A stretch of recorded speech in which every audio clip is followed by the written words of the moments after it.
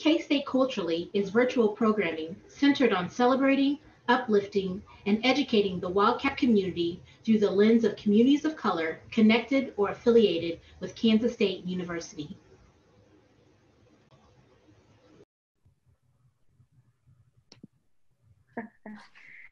Well, hello everyone. Uh, this is K-State Culturally, and this is the Leadership in Color segment um, brought to you by the K-State Alumni Association.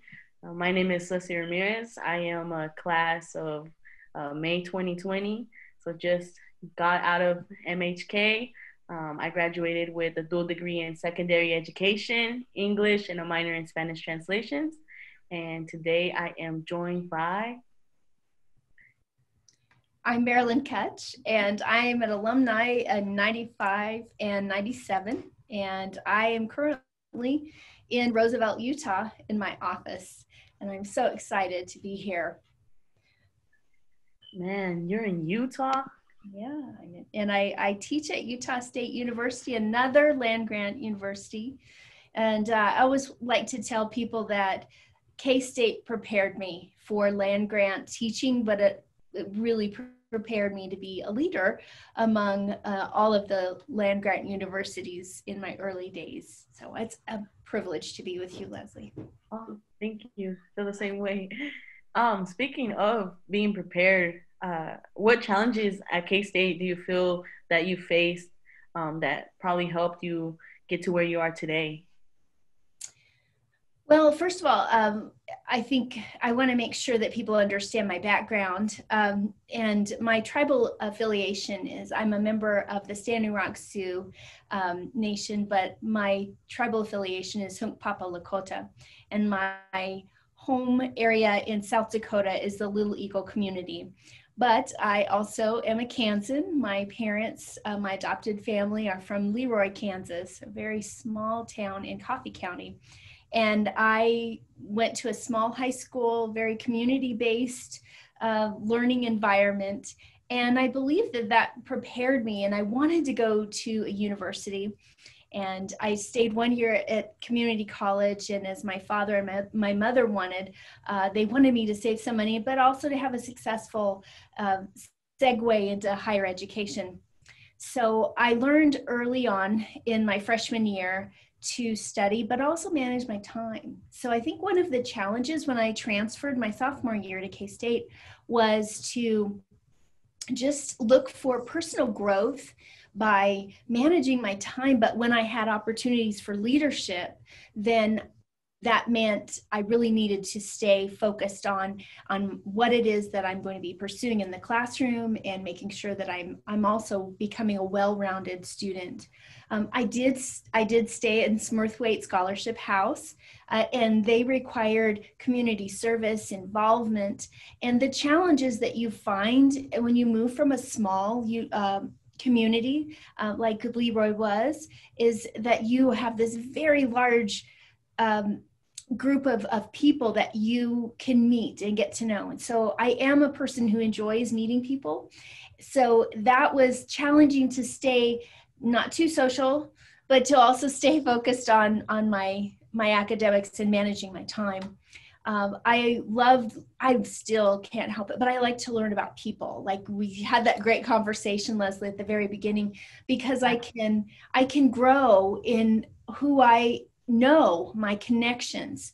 So um, as I found a challenge and thank goodness for individuals like Thurman Williams, who is a part of our inceptual group of the Native American Student Body organization.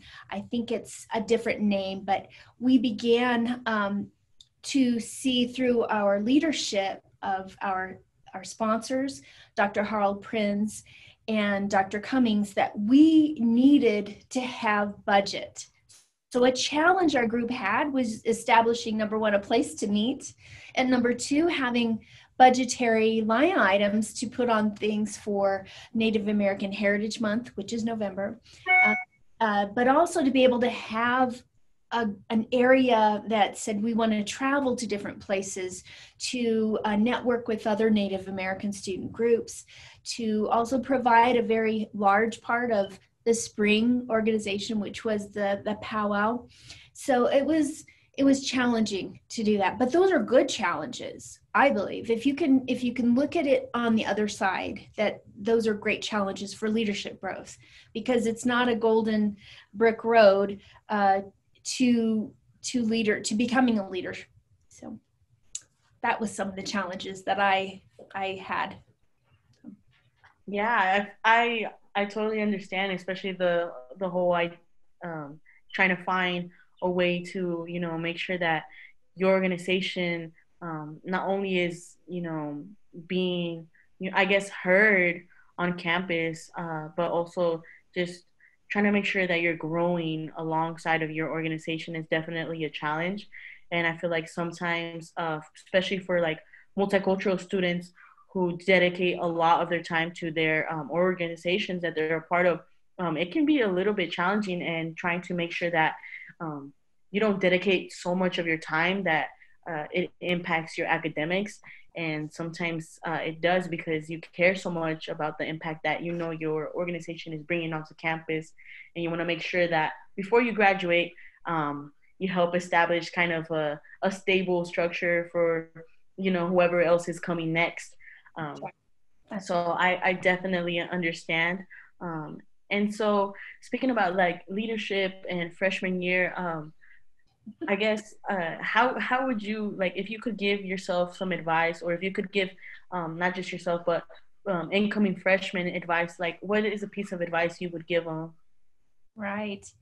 Uh, when we talk about the university experience, the university experience means that you um, you get out of your comfort zone so the advice i give other people and i also i have a niece who's who's a freshman uh, i gave her advice to number one get get help for academics early on. There's so much support services and academic support services.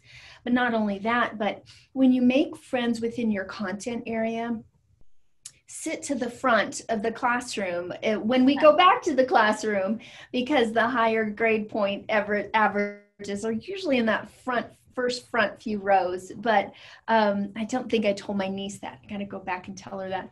But i i also would give anyone advice and particularly my freshman year self if i could do it all again is, is to meet with my native american student body.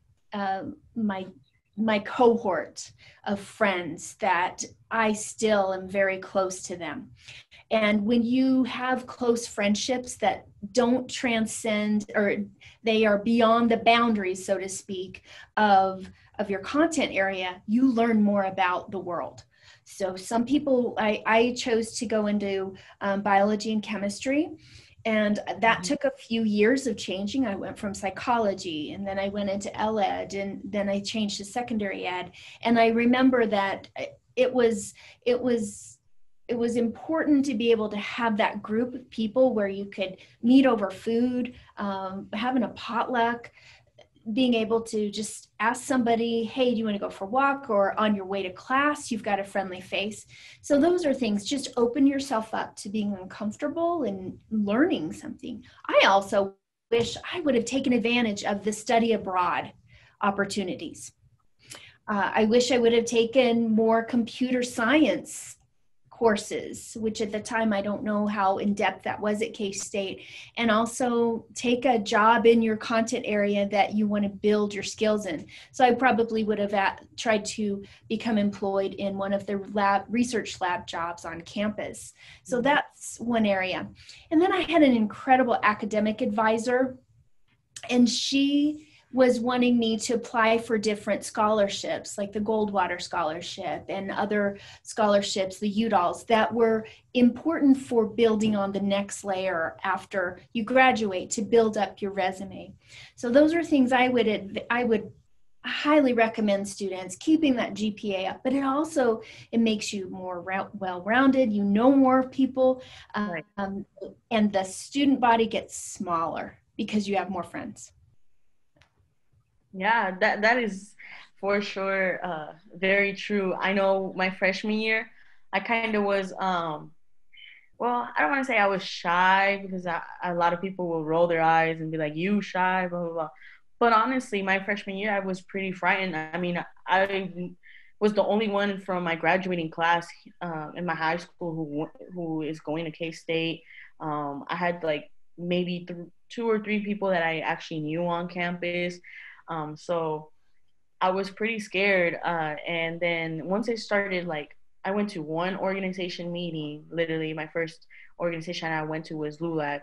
And after that, I just started meeting like with just one person that you know. If they connect you to someone else, like your network just expands overnight. And um, by the end of my senior year, I want to say I, I had a pretty big network of people, and not just not just like students um, or like student leaders, but also um, just administration, uh, like administration, and just um, other people that honestly, you know, really helped me um, get a lot of opportunities on and off campus.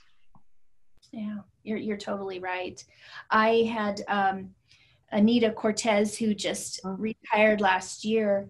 She she would attend our meetings. She would be involved with mentoring, and as a leader, that's what you do. You mentor back and forth. You are mentored, and then you mentor others, and that's also a part of the philosophy and I believe in altruistic as an educator. Um, I was a science educator, um, and that you want to help other people. And then it also meshes back with my own philosophy of being a leader. And I, I, I have it interwoven with my own indigenous perspective, and that is about serving and, and volunteering for things that may make you uncomfortable.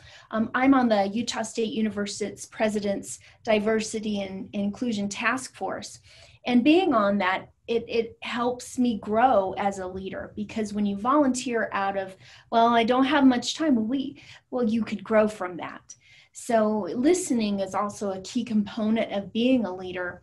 And um, as a as a native person i can't help but not just listen more and to also be able to have good conversations when you're listening.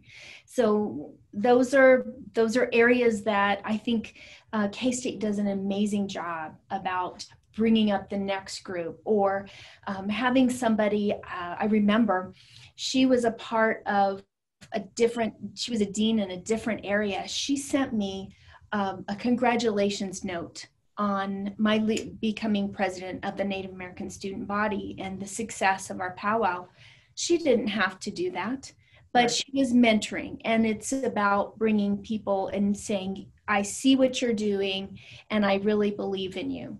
And that was, I still remember how powerful that was, especially when you get something that is so unexpected when you're a leader. Yeah, I feel, I feel like being a leader is really about you know, taking that um, that step towards being uncomfortable and and noticing that maybe everyone around you um, is just as uncomfortable, but you want to make sure you're like, hey, it's okay, guys. Like it's okay to be uncomfortable. Sometimes we we can grow from this, and I feel like once um, you know, especially if you're like a president of your organization and you choose to to do that to take that step forward into an uncomfortable situation um, all your other members see that and they're like okay well i mean our you know madam prez is out here um, putting herself in these situations i'm pretty sure we can too so it really is kind of like a, a domino effect i like to say um, so I, I do think a leader is someone who who takes initiative and is also very i guess i would say you know put their money where their mouth is in a sense of you know uh, i'm not gonna,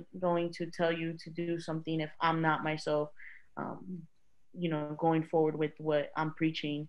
Um, speaking of like leaders and stuff um, who would you say like perhaps could like you would count as like your inspiration or or any role models that you might have right oh that's easy uh, my grandparents um, my grandma and grandpa West and my grandma and grandpa Hetzel. And so my maternal, paternal grandparents and my parents. Um, they both sets of, of my grandparents, they worked so hard. And um, my grandpa Hetzel and grandma Hetzel, or they both um, just showed how being educators and principals that it requires a lot of after school work and and really working to build their, your community. My grandma West was also an educator too, but her story I'll, just I'm so excited to be able to say that's that's my inspiration. Um, Grandma and Grandpa Hetzel both um, really, I believe, being able to say we put ourselves through college, being able to be the first to be able to have um, an education and putting that emphasis on education was always within the family talk and, and it was expected. So then my my grandma West and my grandpa West both worked so hard to build a very successful farm and family. Oh, and when when you think about what you have to sacrifice to be able to do that. That's a lot of sleep. It's a lot of energy but it's also you're serving your community. So if people are needing help maybe they um, have a piece of equipment that they're broke down but it's helping other people in their times of need. And my grandma west she started out teaching in a one room school room uh, near her her um, own home as a teenager and then eventually putting herself through Emporia State's um, normal college and then eventually uh, teaching college and getting a master's degree, but always, always remembering to get home and making sure that she had her bases covered. Both of my sets of grandparents lived very close to me, so I had so many hours growing up being with them and being instilled in hard work. And if there's a door closed, uh, remembering to think about what it is you're doing always with prayer and and then again trying to find another opening door. Um, i also found the love of science because of my grandmothers. Uh, both of them encouraged me not to stop reading. So i did a lot of reading as a child when i finally uh, could read. Uh, coming when after i was adopted i had struggled in school with reading and with math because I hadn't gone to school. So I was behind my peers. Um, but thanks to my mom and my dad and their support, I was able to really work through that. And then having awesome um, aides that were also helping me at school. And so when you think of inspirations, you just, there's so many people that pour into you, timelessness.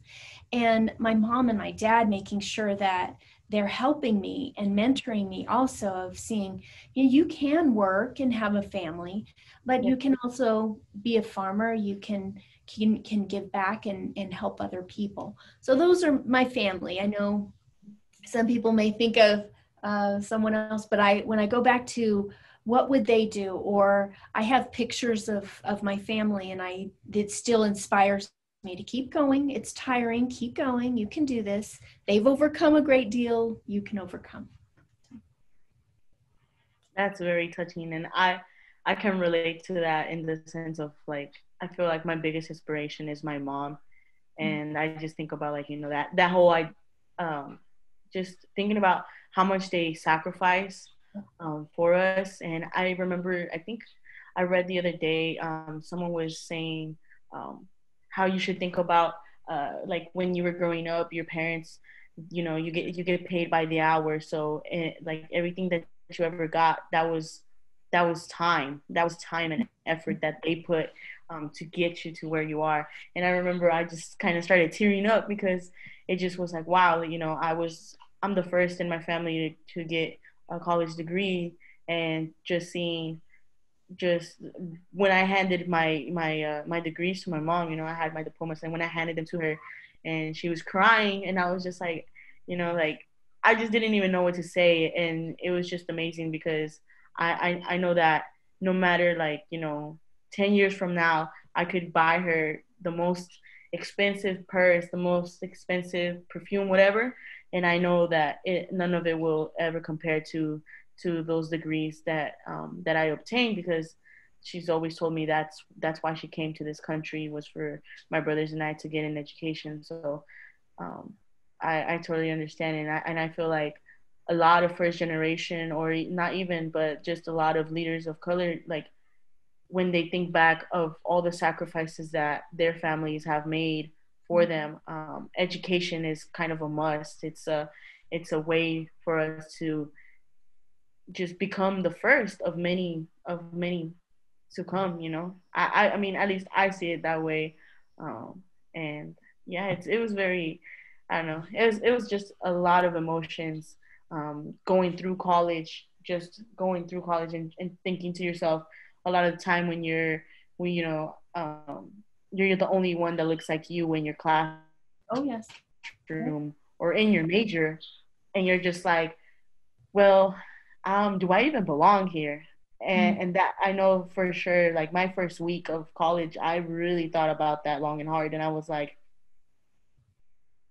do I even do I even belong in in this institution? Like, do I even should I even? So, I just it, it is it is a lot to think about um, growing up and and getting into college. I don't know if if if you had like um you know just second thoughts about. I mean, you mentioned um kind of like uh changing a lot your uh your major.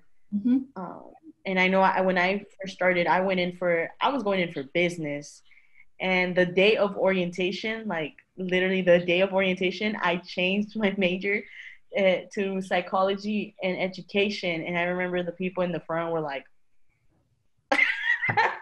and I was just like, I am so sorry, but I know deep in my heart that business is not what I want to do.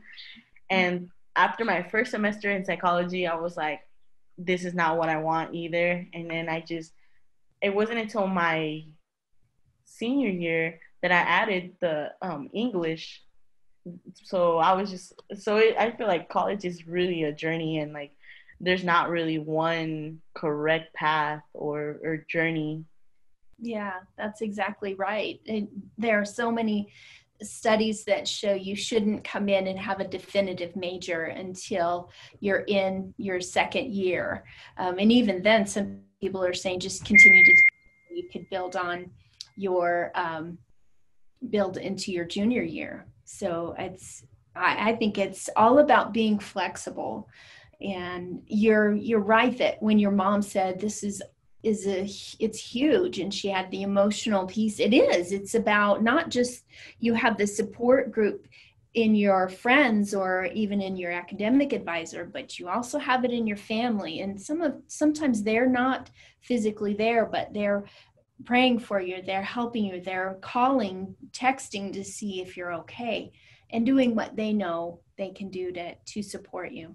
Then that's powerful when you have that.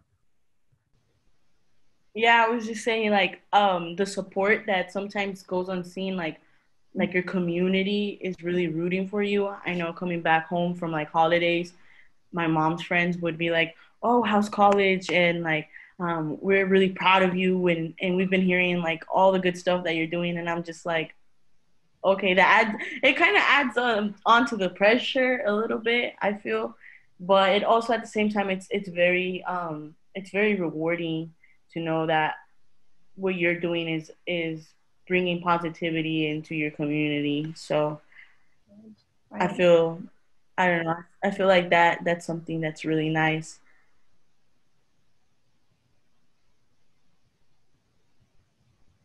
Would you agree? Do you think, did you feel like you had just knowing all the stuff that you were doing, do you feel like that brought pressure at all?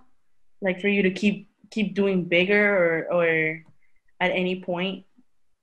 I think the culture of K State of of just being a part of a larger group of people, of wanting to wanting to better yourself which in turn betters your community through education. I think that becomes the piece that you just feel the vibration that you want to stay in that vibrational um, stream. And because I was a part of uh, K State's leadership and, and really getting out of my comfort zone, and I would have even professors would say, You should apply for this um, you should do this. I, I went into the, um, I, I did a summer institute at American University only because somebody said, hey, you should apply with me. And that was a member of the Native American student body. And so I applied, I got it. And I went, whoa, I'm going to be taking off to Washington, D.C. And that really blew up my mind of seeing that the world is so large and there's more avenues and then networking even more with other students from around the united states then that really builds on that whole piece of when you're a leader it's about connections it's not always about being the person in front it's actually being with other people and connecting with them so as as you are a leader the negative piece that many people believe can can see is that someone's in charge well someone does have to take responsibility but being a leader means you take that humble role you find out what the talents are of the people you work with and you can even do that in your classroom when you're a teacher and begin right. to organize your students or organize your organizational um, goals with the talents of the people you work with and when you work towards the end goal, then you begin to see that your role, which I believe a leader really is, is a servant leader. And that allows you to give back to the people you work with. Um, I also believe that when you do mentoring, it's about seeing what people can give you and learning. So it's not a competition, it becomes more uh, synergistic with what we can do to get towards to make our goals and meet those goals.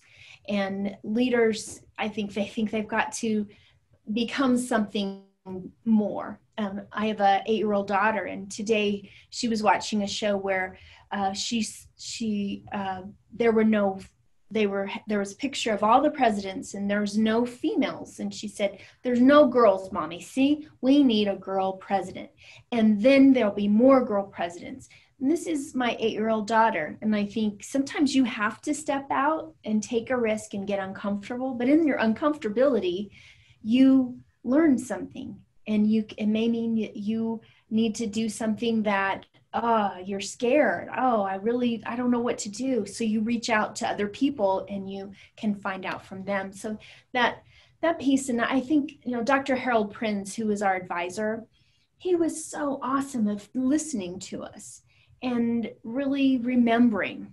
That was another trait that I learned about being a leader. So, not being so busy to where you're not listening and remembering uh, what other people have said in their background.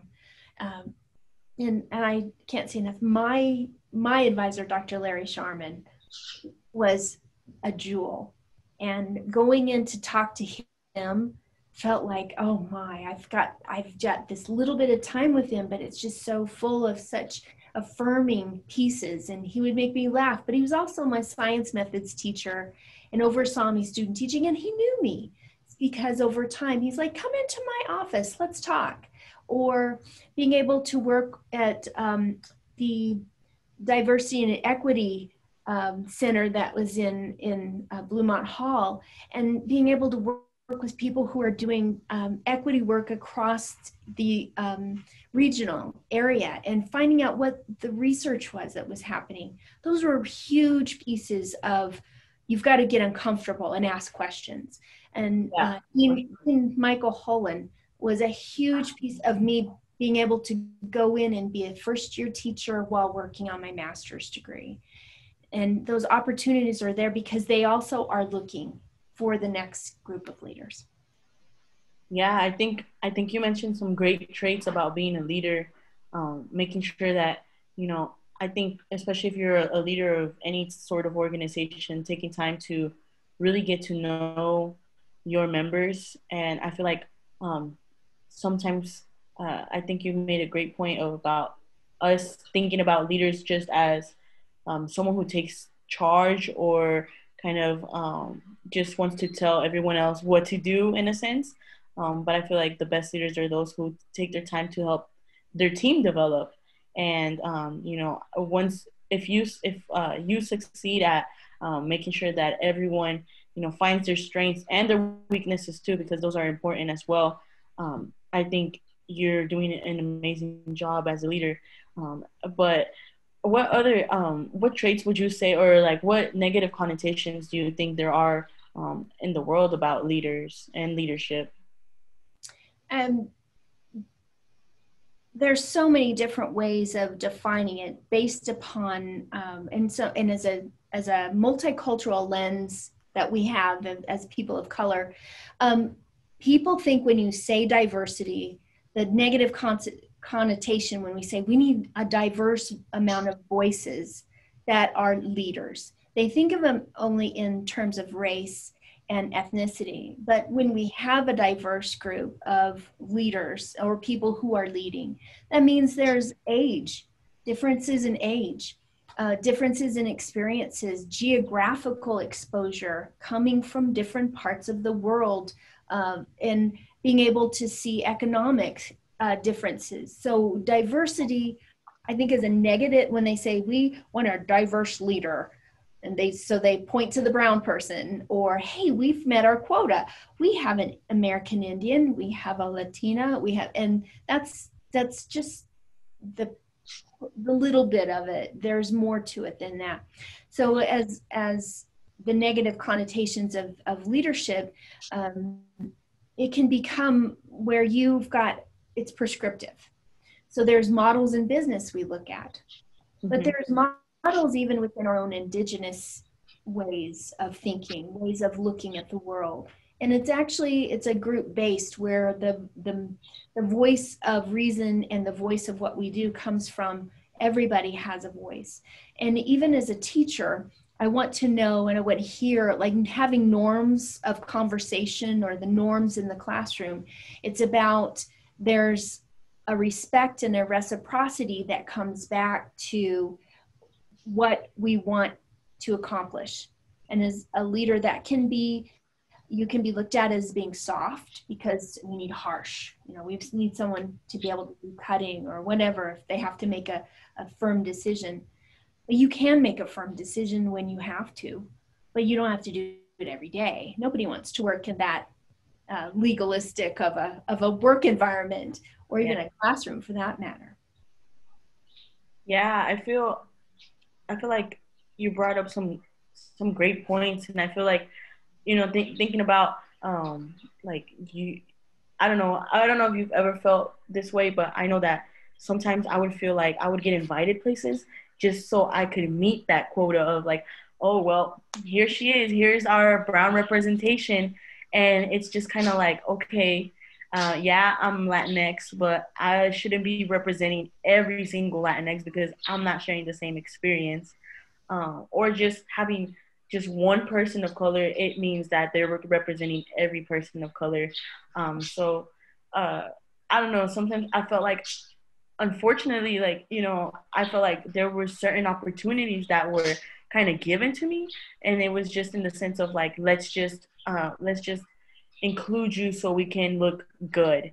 Um, so I don't know if maybe you know throughout your years if you felt that way or if you felt like there were certain positions where you were like, hmm, I don't feel comfortable here. Um, I'm not really given a voice. I'm just here more for a nice look. I I think maybe looking back, probably, I'm sure. But when you give me an opportunity and there's something there, I tend to probably speak up. Or I'll ask, now what is the central what is the central reason? Uh, or even just somebody says, hey, she's an up and coming um, Lat, Latinx leader, let's bring her in. Um, it could look like that, but in sometimes when people are wanting to bring in a diverse perspective, they're also they're going to get a diverse voice and that means being very vocal yeah so i'm on as i am on committees or now uh, as i've been in higher education for so many years i i do have a tendency now when you're bringing me to the table that i'm now have a backing and a, an understanding of when it's appropriate to speak up and how to speak up using policy, wanting to see policy change for the benefit of, of diverse voices to be able to feel comfortable to speak. That that's one way that I know at K State that they were moving towards that when I was there, and it's a long time ago. Don't ask me to date because then you'll, yeah, you'll know my age. Mm-hmm. And I really believe that it's important to do that. So, I hope that answered your question. Yeah, I feel like I feel like I've become like very more comfortable at being vocal.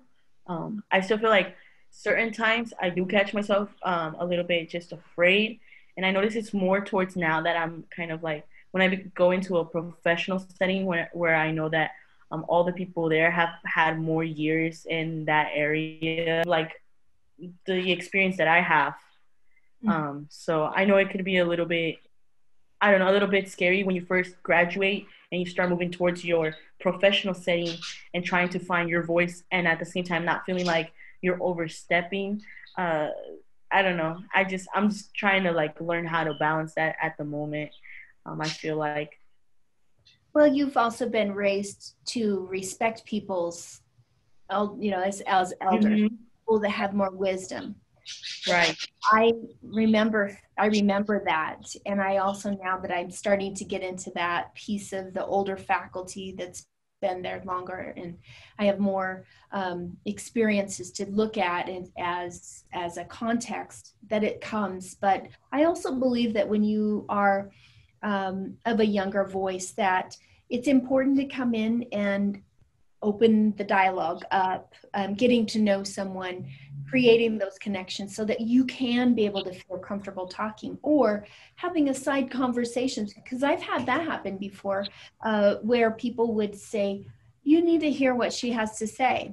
And then that open that not always is that going to be beneficial because we do need to speak up when when it's important but in a respectful manner. And that shows that you were raised to be respectful especially in these Zoom calls.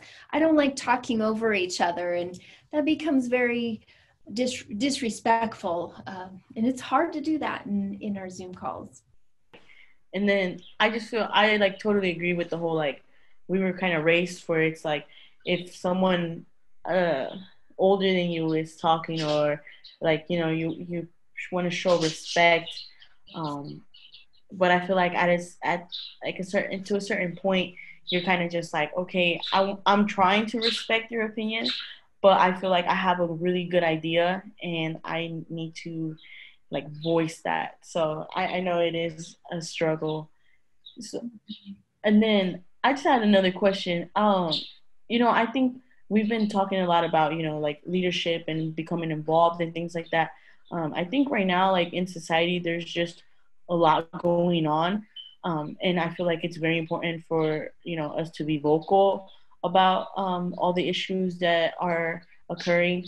Um, so just in case, like if someone wanted to become a leader or take on leadership roles, like what advice would you give them on how to start, or um, yeah, just how would how would you start?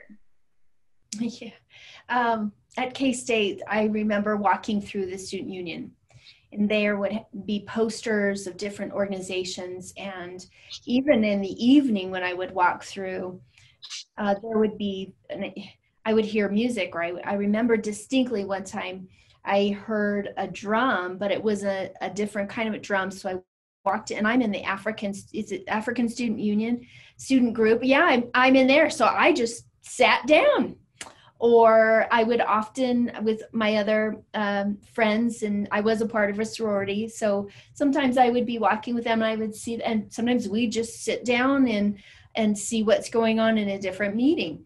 And Thurman Williams and other Native American student body people, we would do that too. We'd hey, um, they're serving food, which is always really good. So we would uh, join, yeah, we would join in, and they would come to ours uh, also. But but really getting out of your comfort zone. If you don't know about a certain um, group of people or you are not familiar with events, holidays, tomorrow's Rosh Hashanah. Um, it is a huge Jewish um, celebration. So, getting out of your comfort zone means that you look at your own biases and you're, you're looking your own implicit bias and then getting uncomfortable to really see what other people's worldviews are like. Yeah. Um, looking at the holidays, there's a there's a reason there that must be important to someone. I I remember Ramadan. Uh, one of the members um, of our Native American student body, he he did Ramadan, and I thought it was incredible. I mean, we did make fun of him for a little while because he continued to lose so much weight.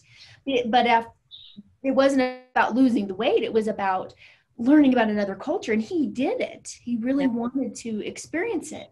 And that respect then you have for other people, then in turn, being able as a teacher to be able to talk about that you know about other people's religion, you know about other people's culture and that allows for you to see that there doesn't have to be somebody that's always right. Because implicitly, that means if someone is always right, then someone is always wrong.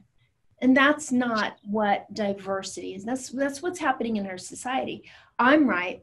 I'm I'm right. I'm going to make sure you know you're wrong, and I'm going to. And but that's also not how we're supposed to be as humans. There's nobody's right um, and nobody's purely right and nobody's purely wrong. But we need to advocate also in our schools uh, for for other people in positions of power that are moving up that they that we advocate for for that.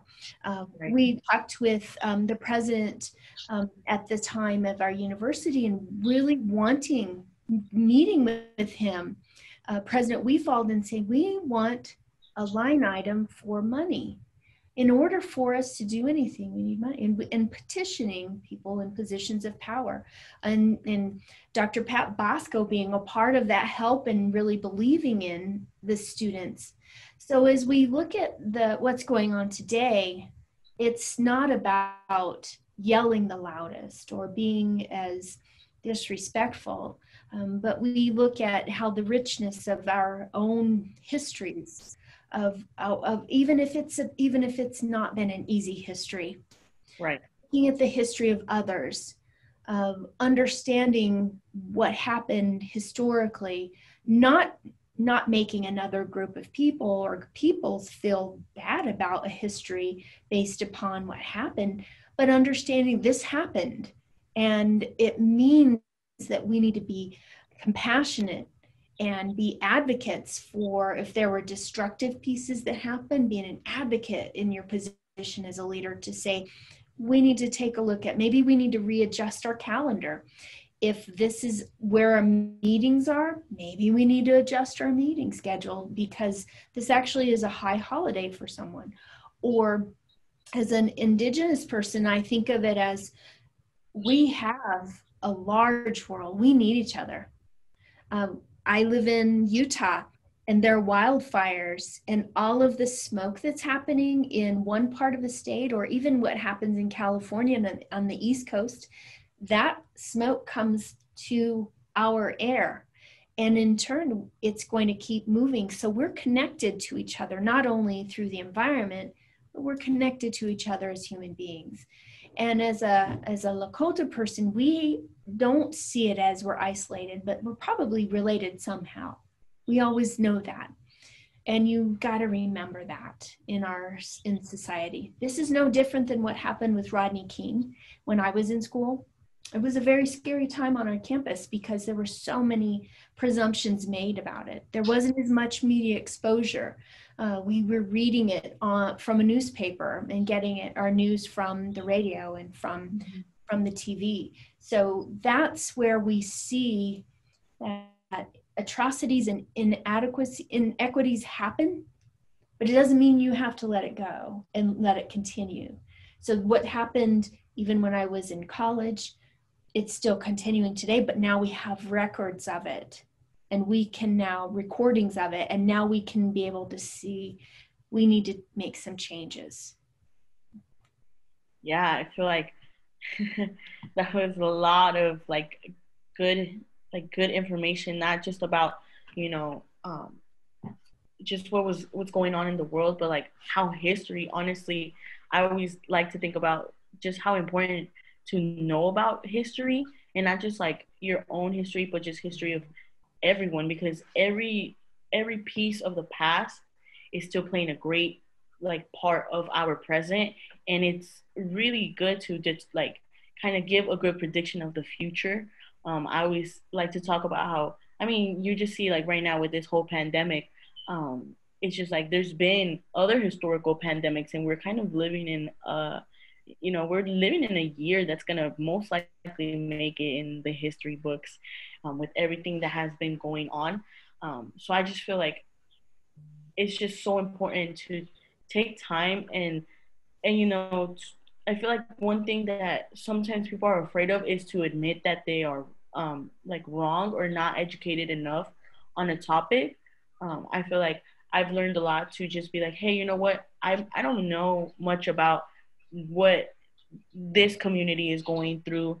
Maybe i should start reading a little bit more or maybe i should um, reach out to someone who, who knows more about that issue than you know who better to educate you than someone who's living through through that situation um, and they can give you their their point of view. And you know i feel like sometimes people are afraid of that of you know it just all depends on um, how you ask someone. You know if someone came up to me and asked me to educate them on you know i don't know like latinx um, issues or about DACA and undocumented students and things like that, you know, I'd be more than happy to um, educate you on that topic.